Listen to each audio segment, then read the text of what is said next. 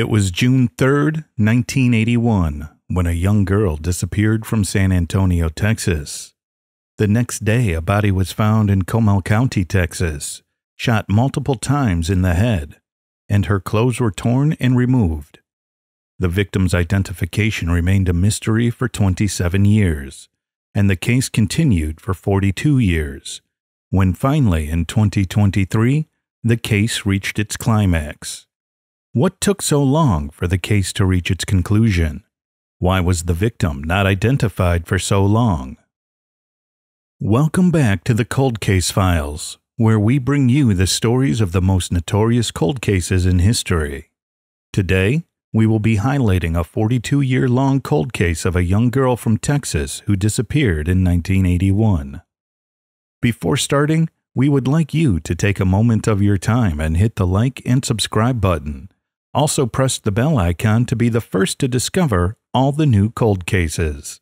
Now, let's take a walk through this atrocious cold case.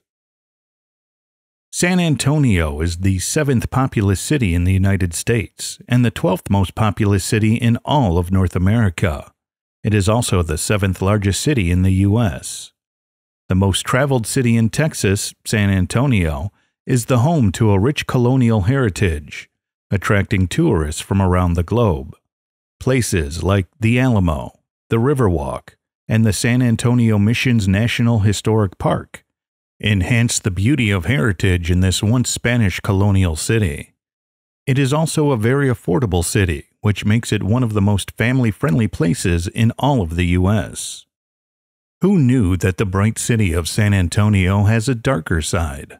The city of San Antonio was ground zero to many crimes in the 1970s and 80s, and this cold case also belongs to the series of unfortunate things that happened in those days.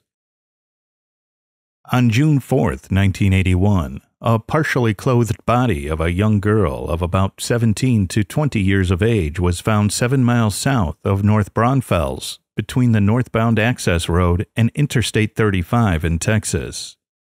On examining the battered body of the young girl, it was understood that she was strangled and was shot six times by a 25 caliber pistol to her head. 25 caliber pistols are very small and can fit in the palm of the hand. The unidentified girl was found to be around 5 foot 3 inches tall and weighing about 118 pounds. With only this much to work with, police set off to try and identify the victim. The cause of death was not confirmed initially, but according to Comal County Justice of Peace R.G. Blanchard, the girl died due to the gunshots and not because of the strangling. The girl's clothing was missing from the scene, and she was left only with a multicolored blouse, white socks, and her bra pulled behind the neck. Although the preliminary test said that she was not violated, the investigators believed otherwise. According to them, the victim's body showed all the signs of being harassed and violated, and it was understood that she might have fought back for her life. One of the gunshots were right above the right eye, and the other five times were shot above and behind the right ear. No weapons were found at the crime scene, and from observing the crime scene, the police believed that she had been killed somewhere else and then dumped on the roadside. The Comal County Sheriff's Department appealed for help in identifying the victim, but didn't receive anything useful. From the very onset of the case, the priority was to identify the young victim. In order to get some proper identification, DNA was collected from the victim's fingernails, and a drawing of her face was printed on posters which were spread throughout the city. Even after thoroughly continuing the search for her identification, the police got no results, as none of the people in the area, or even from the nearby locations, knew anything about the girl and didn't recognize her from the poster. Furthermore, her DNA sample could not be used to identify her, as at the time DNA testing was not used widely, and the identity of the girl remained unknown making the case critical.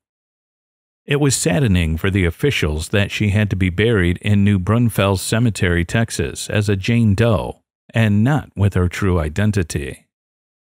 According to the police's hypothesis, the young victim was abducted and forced into intercourse. When she fought back, she was choked and shot. Then her body was left for dead on the I 35 near New Braunfels, Texas. However, no hard proof or any kind of evidence was there to support their assumption.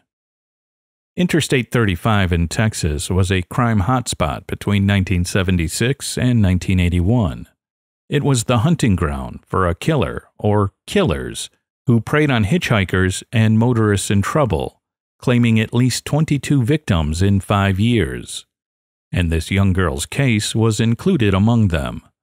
The first suspect was a serial killer named Henry Lee Lucas, who was at large and was accused of murdering many people during those years. Two years after the incident, in 1983, Lucas was arrested and he confessed to the killing of the young girl. He, along with another serial killer named Ottis Toole, confessed to many murders which happened during that time period. Lucas was sentenced to death on conviction for another homicide case. But subsequent renunciation of the Lucas Confessions in 1985 returned several cases to the unsolved column, the unidentified girl's case being one of them. After finding Lucas not guilty of the girl's murder in 1981, the investigations resumed, but to no avail. Her identity was not known, and pursuing the case was getting more difficult. The investigation continued for years, but without the identification of the victim, it was hard for the investigators to pursue the case and find the culprit. There were so many mysteries left for the Comal County Sheriff's Department to unravel, but they had no real clues or leads to follow. All they had was the victim's DNA, a picture and the location where she was left for dead. Even on interviewing people around the area, they came up with zero explanations as to what might have happened. The case started to look bleak, and hopes were fading away. Soon the case went cold, despite the investigation remaining open. After almost three decades of the case remaining cold, the Texas Rangers Unsolved Crimes Investigation Program revisited the case in 2008. On going through some missing reports, they found a missing person report that matched the description of the victim from the 1981 timeframe. The Texas Rangers then met with the family who filed the missing persons report. The person who filed the report was Sandra De Leon, who resided in the West Avenue area of San Antonio. On showing the victim's profile, Sandra and her family immediately recognized the 18 year old girl. According to them, she was Carol, Sandra's elder sister. With this statement, the police finally had a new hope, and after further family DNA testing, her identity was confirmed after 27 years of being labeled as Jane Doe. She was officially identified as Carol Joyce De Leon in 2009. Carol Joyce De Leon was born on February 18, 1963, in Bexar County, Texas, USA, in the house of Rodolfo De Leon and Ramona Vara. She had a younger sister named Sandra with whom she grew up. However, not much information about her family is available. She resided in the West Avenue area of San Antonio, Texas. On May 28, 1981, Carol graduated from Thomas Edison High School just a few days before her unfortunate demise. Carol, after graduating from high school, had a lot of free time on her hands. She felt that it was time for her to live on her own and start her independent life. She discussed her plans with her family, with whom she was living at the time, telling them that she would like to move out and start life on her own now that she had turned 18 and her loving family agreed to it. When asked about Carol's whereabouts on the day of the incident, her family said they thought Carol had gone out with her friends to spend the evening with them.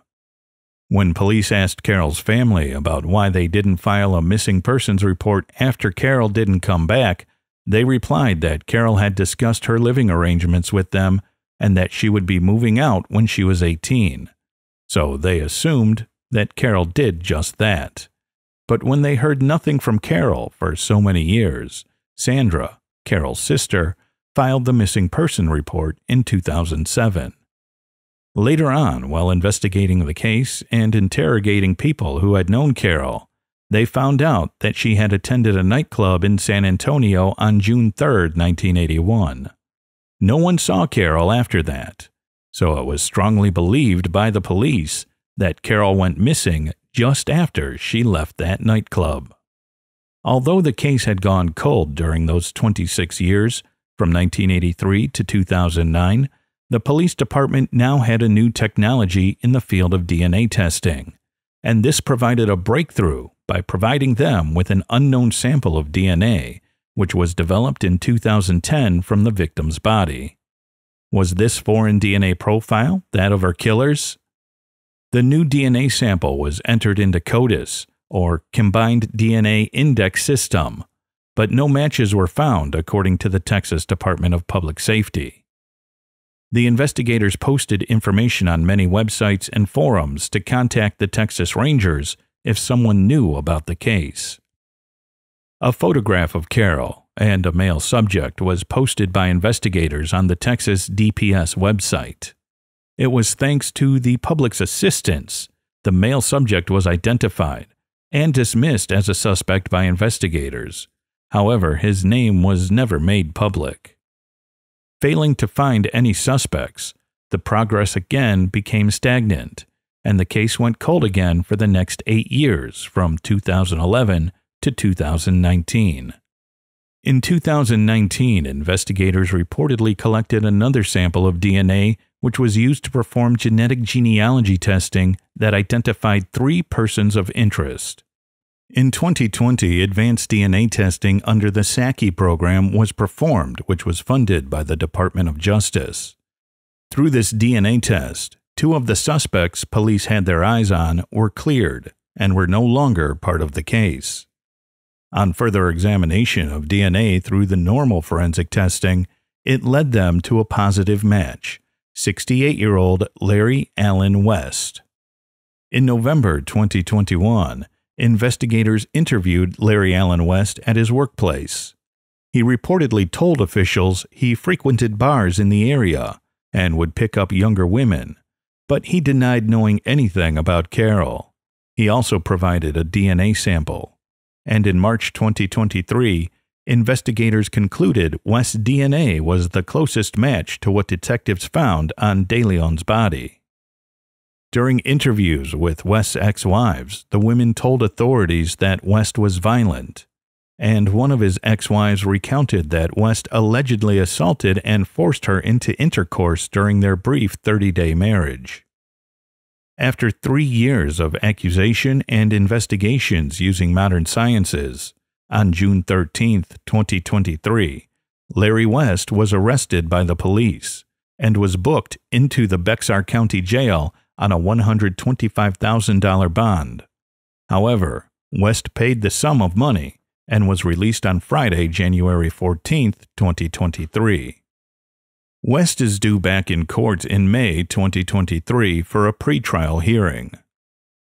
So, according to you, was West the one who brutally murdered Carol on that unfortunate day? Do you think he will be brought to justice? Even if the DNA evidence points to him in the eyes of the law, a person is innocent until proven guilty. Till then, Carol will surely have to wait for her justice as she rests under her tombstone, which finally has a name on it. Share your opinions in the comment section. And don't forget to like, comment, and share this video. Please subscribe to our channel where we will bring you more cold cases and discuss everything in detail with you. Stay tuned to Cold Case Files for more content.